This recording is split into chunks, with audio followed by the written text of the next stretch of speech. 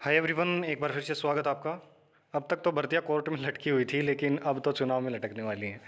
तो आज election commission जो है, उसने प्रेस इनविटेशन भेज दिए हैं। इलेक्शन को लेकर के ऑफिशियल वेबसाइट है और इस पर आप देख सकते हैं, ये नोटिस डाला हुआ। शाम को तीन बजे इन्विटेशन दे दिया गया है मीडिया को कि आप प्रेस कॉन्फ्रेंस है तो आप आइएगा। तो देखिए ऑफिशियल नोटिफिकेशन। तो देखिएगा, आज शाम को तीन बजे जो मीडिया है, उसको बुला लिया गया, प्रेस कॉन्फ्रेंस होने वाली है, इलेक्शन कमीशन की। तो भर्तियों का अब क्या रहने वाला है तो देखिएगा, जो भर्तियाँ हैं, एग्ज़ाम है आपका, अब कल परसों में छप्पन सत्तावन का हो जाएगा, फिर हरियाणा पुलिस का है। और भी बाकी भर्तियाँ हैं, जेबीटी का भी होने वाला था, पीजीटी के भी एग्ज़ाम है।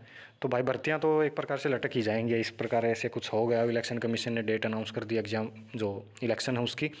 तो सी की जो भर्तियाँ हैं तो एग्ज़ाम तो शायद हो जाएँगे, लेकिन ज्वाइनिंग नहीं, आपकी नहीं हो पाएगी। रिज़ल्ट भी पॉसिबिलिटीज़ है, निकाल देगी। परमिशन लेके इलेक्शन कमीशन की। लेकिन ज्वाइनिंग मुश्किल है ज्वाइनिंग नहीं हो पाएगी। और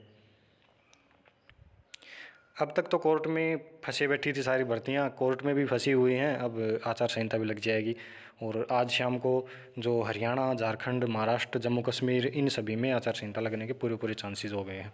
और जो भी टीजीटी के साथी हैं टीजीटी के कैंडिडेट्स हैं, जिन्होंने अभी तक ज्वाइन नहीं की है तो मेरी मानो तो अभी के अभी चले जाओ स्कूल में ज्वाइनिंग कर लो।